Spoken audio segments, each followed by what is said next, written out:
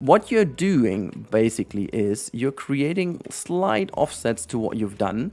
And uh, this is something I can't really give you a tip how to do it exactly. It's like you'll get a feeling for that. Once you start clicking, you create certain areas that look a lot better. As you can see, I'm just like trying to move myself towards you know the uh, the riverbank and as you can see it's creating these lovely little offsets over here and again make sure that you don't go to the highest but it's it's very nice